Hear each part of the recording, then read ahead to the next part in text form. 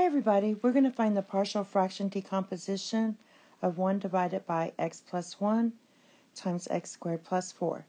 And x squared plus 4 is nonlinear, so the way we're going to set it up is we're going to write a over the linear term, and since we have a quadratic term in the denominator on the second part here, we have to write the linear term because we might have, uh, we want these to be improper rationals, so we might have a C or a B here. And the first thing we're going to do is clear the fractions by multiplying by our least common denominator, which is right here. So we're going to take x plus 1 times x squared plus 4 times this left side here.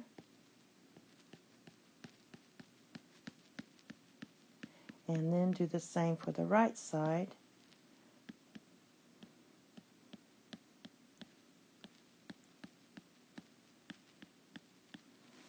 I'm trying to write small. So this is going to be a divided by x plus 1 plus bx plus c over x squared plus 4. Now, um, this will cancel here, so we just left with 1 on this side. Um, this is going to cancel with this one, so we're left with a times x squared plus 4 and for the bx plus c, this cancels. So we're left with bx plus c times x plus 1. Now let's go ahead and see if we can um, do a little bit on this side. Let's let x equal 1, negative 1.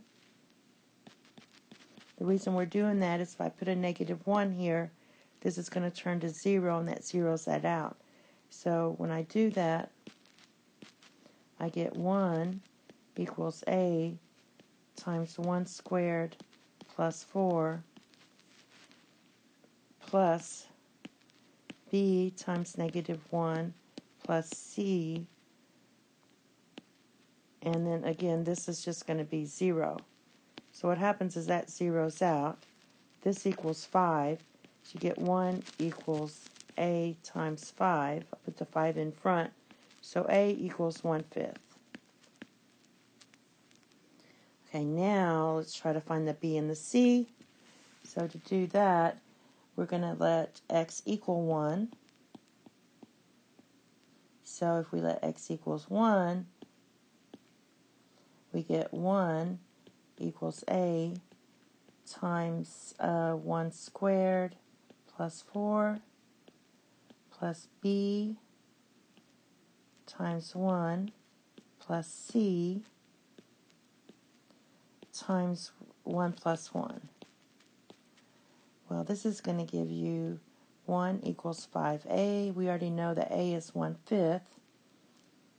And then we get um, b plus c times, this is supposed to be a 1, times 2. So we know that a is 1 fifth, so we're going to get 1 equals 5 times 1 fifth, which is just this 1, equals 2b plus 2c. And if you, uh, this equals 1. If you subtract 1 from both sides, you get 0 equals 2b plus 2c. And again, you could divide everything by 2 and get 0 equals b plus c. And um, we have this we're going to have to set up. Now, the other one I want to do is let x equal 0.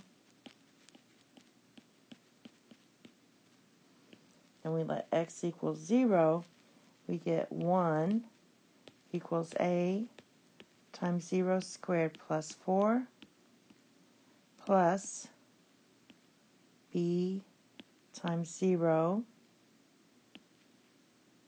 plus c times 0 plus 1.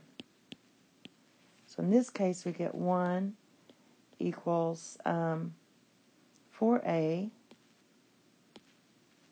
Now this goes away. This is 1, so you get plus c.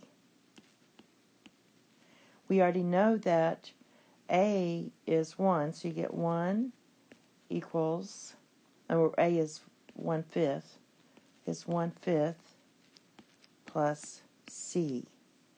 So now this is 4 fifths, so you get 1 equals 4 fifths plus C. And you can just mentally know that C is going to be 1 fifth, or subtract. This is 5 fifths, so this would be 5 fifths minus 4 fifths equals C, so 1 fifth equals C. Also, we already knew that B plus C equals 0. So basically we have B plus 1 fifth equals 0.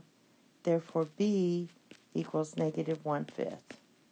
So we have B, we have C, and we also have A already equals 1 fifth. So all we have to do is plug it in.